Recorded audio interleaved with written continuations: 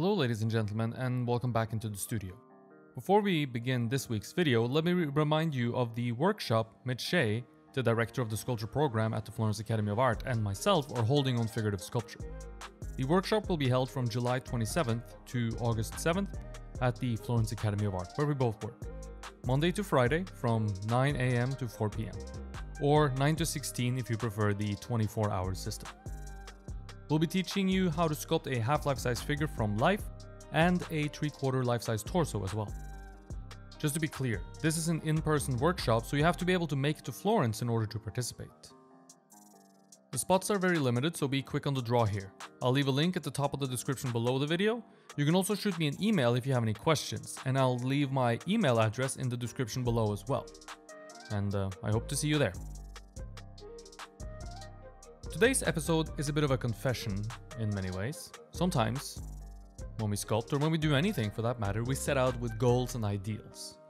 But the sad truth is that no plan really survives execution, and that's the case here. One of the things that I aimed at trying to do with this series was to make sure the process was as linear of a process as possible with very clearly defined steps, to make it a little bit easier for you to follow. And I've managed to do that to a certain degree, but of course today we end up diverging a bit from this ideal, as we need to rethread some of our steps in order to make the sculpture better.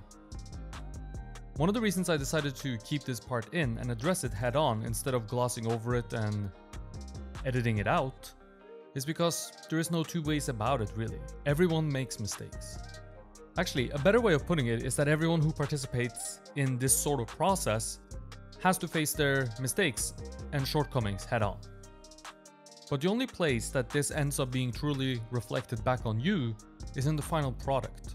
So a mistake is not really a mistake unless you leave that mistake unattended. Which is what I'm going to be doing during some parts of this video, attending to my mistakes that is. It's also a feature of the process and part of what makes the process so powerful. We don't simply attend to a question once. We readdress the same question several times throughout the work, and by doing so, we end up with a more nuanced answer. That's going to be a large part of this episode, and it might seem like a mistake, that I've made a mistake that I have to correct. But in reality, it's a feature of the process, and a very important one at that. In the beginning here, the work focuses on the core of the sculpture, and I'm kind of working with two hats on in, in many ways. Or on two separate issues at the same time, if you will.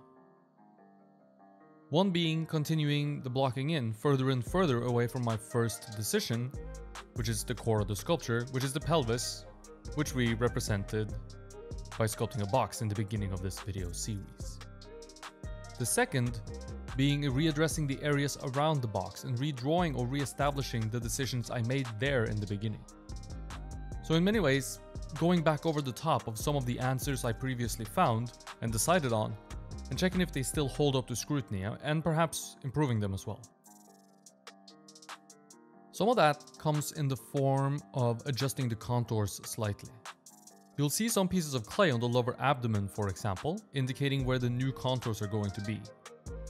Remember that heights are tough to adjust, so I've been very careful when placing those, and hopefully I don't have to move those.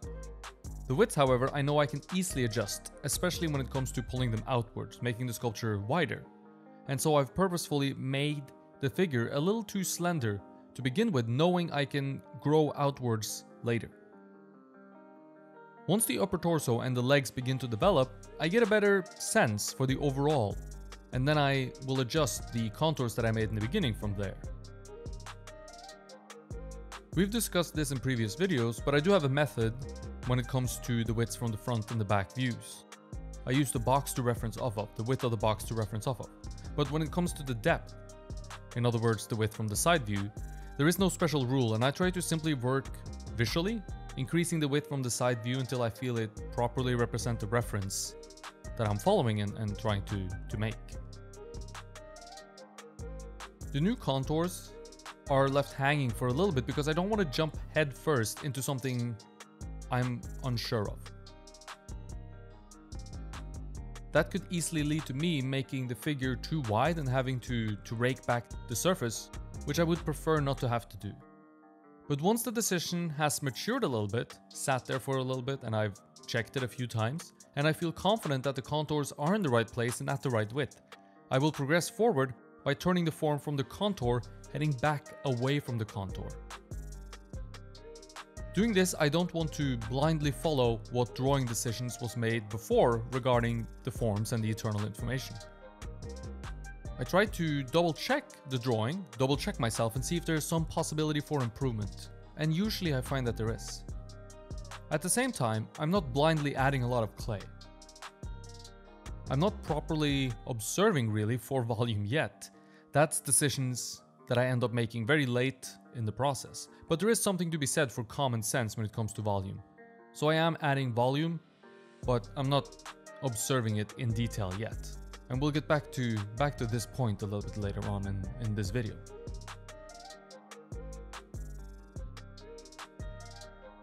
Some people have an aversion to the rake as a tool for clay sculpture, and some people love it too much, I think. Now, I've discussed this in, in many videos on my YouTube channel before, but as you can see, I clearly do not have an aversion to the rake tool. The rake is the easiest tool to get from a somewhat rough surface to something much more refined and definable. Now I'm not sure if definable is a word, but by it, by saying definable, I mean what I'm looking at can be understood as being in somewhat of a close relation to the reference that I'm looking at. So they look the same essentially. By cleaning up the surface, I'm increasing the resolution of my sculpture. This is both very helpful and potentially dangerous as higher resolution will reveal more mistakes. It can be done with intention, which is what I'm trying to do here. It's a step in the process that's there to serve a purpose, and that purpose is to allow me clearer vision when it comes to comparing sculpture to reference. I don't think a rough sculpture can be properly compared to the reference, at least not on a very specific level, because the sculpture is by its nature rough and not specific. This is not to say that jumping into rendering right away is the way to go either, because that rough step serves a very important function. The rougher part of the process allows you to focus on what's important at the time, which is gesture, overall proportion, the contours, and not the internal information, for example. Or at least not the specifics of the internal information.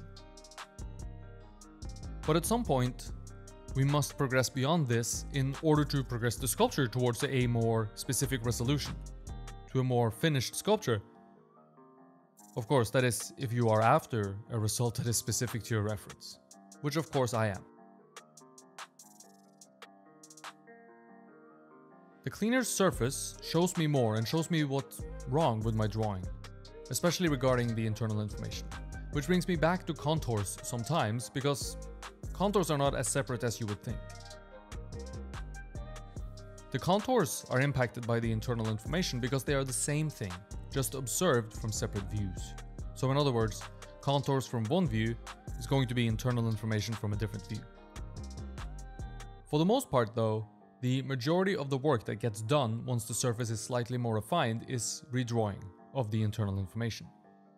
How the forms meet each other and what kind of lines or shapes they form can more easily be dealt with once the connection or transition area is more clearly defined.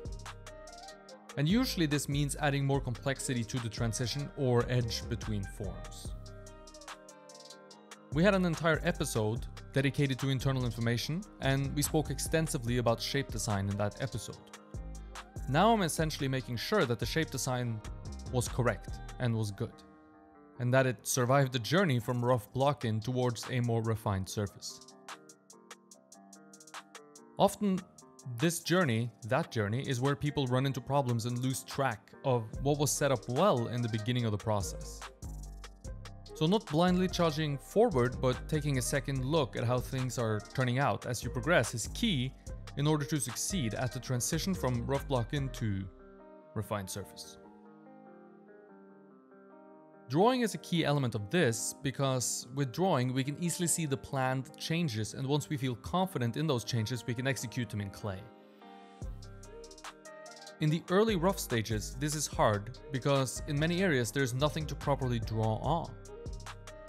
There are gaps between our forms and so there's no way for us to properly draw on the potential changes.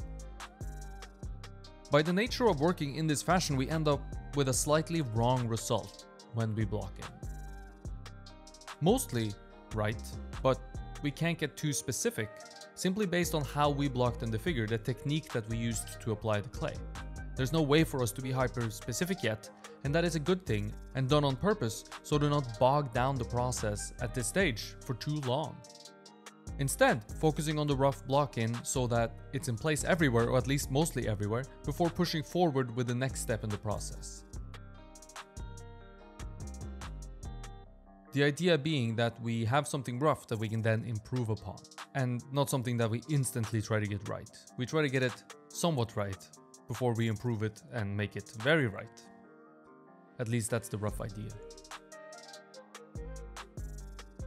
With clay to draw on, I can redraw the forms a little more specifically, and even if I later end up having to adjust my contours, I can use the more accurate drawing while going over my forms, bringing them up to the new contour or adding volume.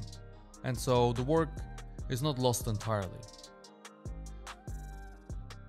Notice also how the work progresses from around the pelvis, which is the core and the first decision we made on our sculpture, towards the upper torso, which is still in the rougher stages.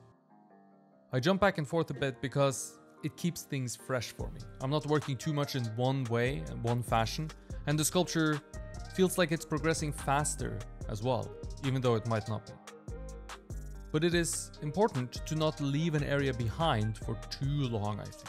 And once I feel confident about the decisions made further down the sculpture towards the pelvis or the box, I can begin making decisions further up, and should make those decisions and make sure the work progresses forward so that I can get a look at the whole sculpture sooner rather than later.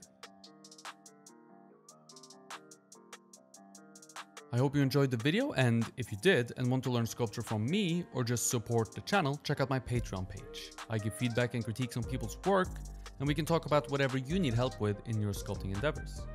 And right now, there is exclusive sculpting content on my Patreon. The first series we have embarked on is the Beginner's Guide to Figure Sculpture. I'm super excited to finally be creating exclusive content for Patreon, and I hope you will be too and will take a look. The link to my Patreon page is in the description below the video. Thank you for watching and stay tuned for a new video next Thursday. Hit the subscribe button and the bell to be notified whenever a new video comes out. If you enjoyed the video, click the like button and share it with your friends and family. It helps me out a lot. Thank you for watching, stay creative, and I hope to see you in the next one.